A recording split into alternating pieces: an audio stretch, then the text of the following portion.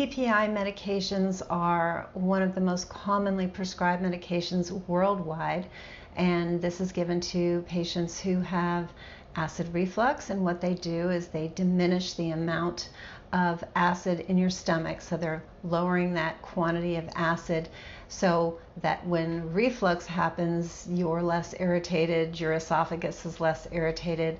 And on the face of that, you know, sounds like sounds like a good idea except there are a lot of very serious side effects, and I wanted to review specifically today the association of taking PPIs and getting infections. So, why would that be?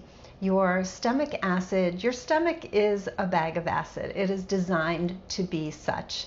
And why? Because when you chew and then swallow your food, the first destination it gets to is your stomach, and there are microorganisms, there are bacteria, there are viruses that can be in your food, and it's not because you utilize poor hygiene, they're just microscopic and they are present, which is why Mother Nature made your stomach a bag of acid so that these bad guys could not survive.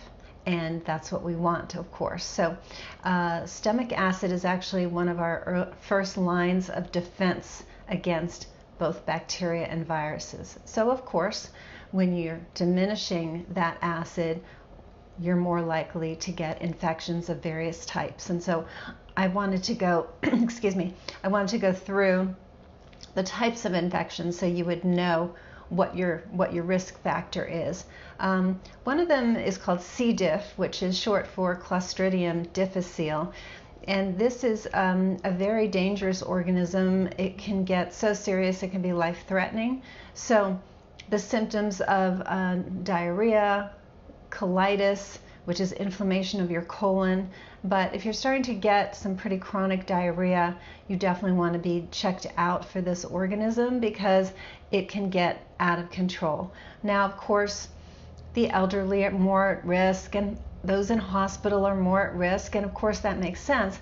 But the risk factor is also very prevalent for those of you who have been on the PPI for what's considered a long time, which is a year or more, and those on high doses. So either or. So if you're just somebody who needed to really go to the max dose or a fairly high dose because you weren't getting relief and your doctor kept increasing the dose, then you have that risk profile as well as somebody who's been on it for more than a year.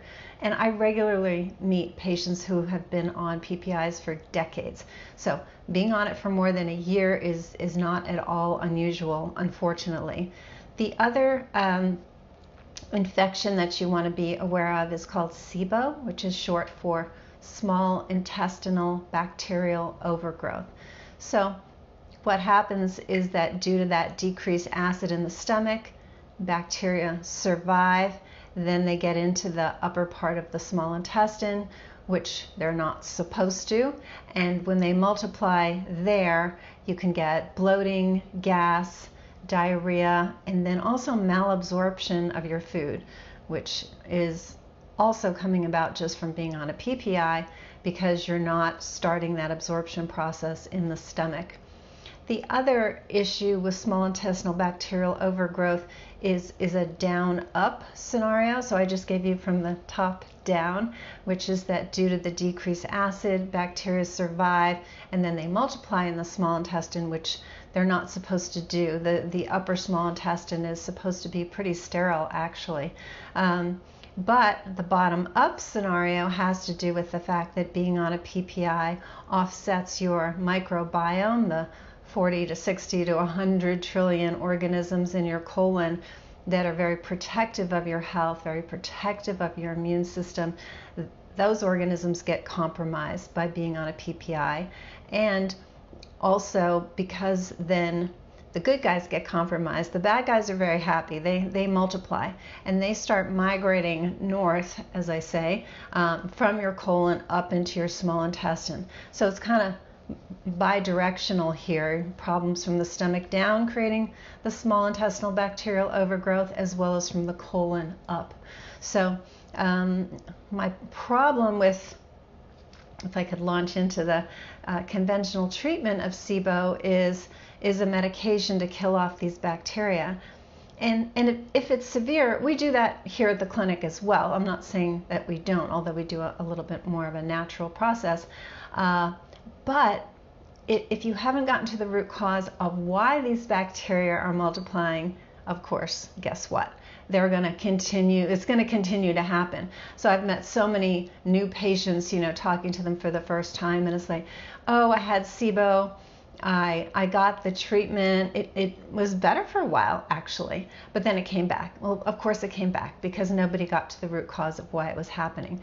So that's that's pretty critical. So keep that in mind if if you say, wow, I might just have to live on these drugs. No, you have to get to the root cause of why these bacteria are inappropriately multiplying, okay?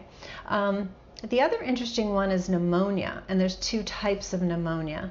So one is a chemical pneumonia, and that has to do with the acid refluxing up your esophagus, and some of you have experienced this where it's it's getting all the way up into your throat and you're tasting it and if you happen to you know, take a breath or cough, or you can aspirate that acid. And um, so this is a chemical type of pneumonia because the acid inflames your lung tissues. And so you can set up for that kind of pneumonia. Then, of course, there's a bacterial pneumonia because of what's happening with the decreased acid in your stomach.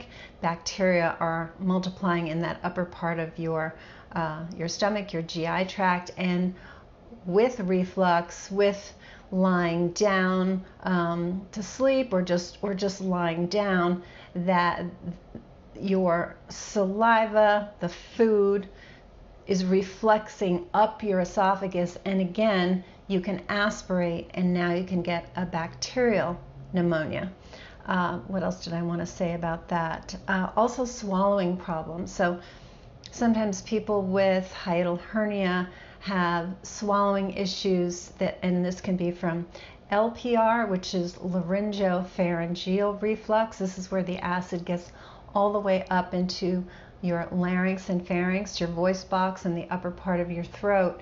And uh, you're, you're feeling the, the results of the acid there. And that's particularly dangerous with this pneumonia issue because um, the acid does go so high up and tends to reside there, people can have a chronic cough, they can be hoarse, they can have trouble swallowing again. And so, easier to aspirate it that way. Or if you're somebody who regurgitates your food, you're having trouble swallowing, that can come back up. The bacteria are in there and you can aspirate. So, there's a few mechanisms of how this can occur. But again, it's pneumonia, and that can get very, very serious. So these are all the side effects. Um, lastly, there's foodborne illnesses like uh, salmonella, campylobacter, listeria, the classic food poisoning. And um, when you're exposed to this, what do you want? You want a great immune system, which means you know you're eating the food, right? It's it's tainted uh, for some reason, and you want robust stomach acid to kill this bad guy. But you're on a PPI, you don't have that, and now it propagates, and, and you can be pretty miserable with the infection. So, uh, again, who's at risk? Yes, elderly, yes, people in hospital, but yes, people who have been on the PPI for more than a year or at a, at, are at a high dose, and that can happen pretty fast. I've had patients who who say, well, you know, regular dose, they upped the dose, they doubled the dose, you know, um, because they weren't getting they weren't getting the relief. So uh, th- this is a, a, you know, obviously it's a serious problem because you can get infections and those can sort of take off and and um, get out of control. So you want to know you're at risk, but more importantly, let's get you off the PPI. Let's get to the root cause of why your stomach is getting compressed and having no choice but to take its contents, stomach acid, and bring them up your esophagus. Let's recall that the stomach is designed to be a bag of acid. It is that first place food goes. It's supposed to be a bag of hydrochloric acid. It's not supposed to be compromised. And so that affects malabsorption of nutrients. It affects your ability to get infections or not. It affects so many different things. So why can't we just restore normal function? We can. Now, I'm not saying 100% of the patients we see, we're able to get them off their PPI, but a very high percentage of which I'm very proud of. And it's the simplicity of where is that pressure coming from? We call it intra abdominal pressure. Where is that coming from? What's the source of it? Identify, remove, and, and sometimes it's multifactorial. You know, there's a few different sources, but we identify, identify, identify, remove, remove, remove, and then all of a sudden uh, the stomach is relaxed again. It's not being compressed inappropriately, and we can wean you down and hopefully off your PPI. So that's how we think here, and and that happens a goodly percentage of the time and it's very protective for you, not just that wow, I don't have acid reflux anymore and I'm comfortable and I, you know, I can eat comfortably and I can lie down and all the things you can't do when you have acid reflux. But this cascade of side effects from infections that we've re- reviewed today to heart attack, stroke, stomach cancer, dementia, there's a long list, kidney disease, there's a long list of side effects, uh, osteoporosis, uh, that really can be avoided by getting off these medications. So uh, I hope this was informative. I think it's very important to be prepared and know what the risks are so you can be uh, aware of them and not let something get out of control. And uh, if you enjoyed this content, please consider subscribing to the channel. We're trying to increase our subscribers uh, so that more people can get exposed to this information. If you like the video, give it a thumbs up, share it with a friend who might be similarly suffering. And uh, I do really appreciate you, and we'll talk soon.